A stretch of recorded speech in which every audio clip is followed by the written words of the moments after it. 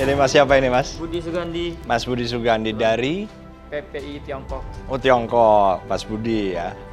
Ini Pak. Mas Zafran Zat Mas Zafran di Amerika Serikat.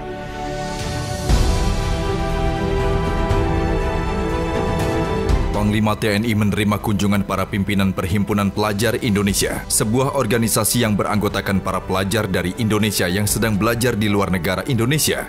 Dalam pertemuan tersebut, Koordinator PPI Dunia menceritakan sejarah singkat awal terbentuknya PPI yang sekarang beranggotakan lebih dari 120 ribu pelajar di luar negeri.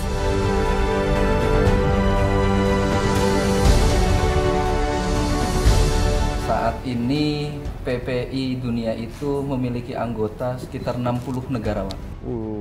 Jadi tersebar di tiga kawasan, Asia, Oseania, Amerika, Eropa, dan Timur Tengah Afrika. Hmm, tapi semuanya harus student ya.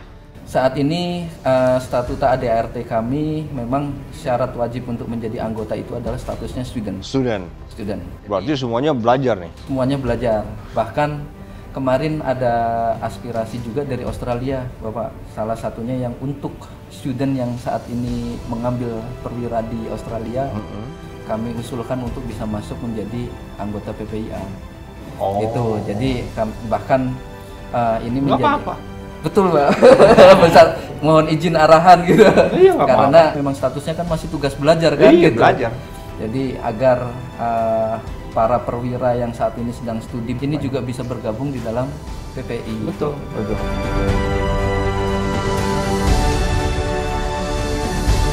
Harapan kita memang generasi yang berpendidikan, Mas. Ya kita udah tahu semua lah. Nah kesempatan belajar pun juga nggak banyak.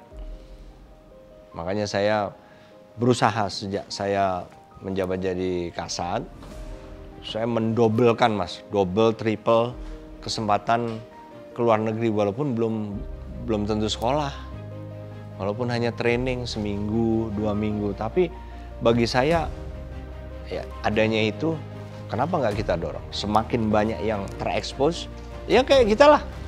Gimana rasanya terekspos ya? Ya, ya, ya, ya. Berubah nggak kita? Maksudnya berubah itu artinya, oh banyak hal baru yang kita lihat nih di tempat baru nih. Itu yang membuka wawasan kita kan?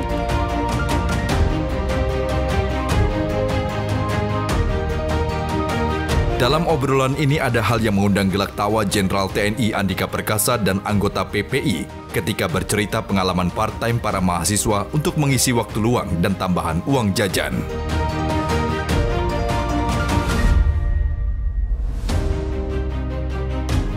Alumni nyuci piring juga. Eh, Saya sekarang lagi kerja nyuci piring juga part time juga saya. Kalau dulu di stang di Turki enak, jadi tour guide. oh ya, Paling Oh, enak bisa ya? Eh, Oh, part time-nya ya? Partnernya itu paling enak. Tapi orang Indonesia loyal loyal. Mau Oh. pulang disanggunin. Oh gitu ya? loyal orang Indonesia. gitu ya? Iya betul.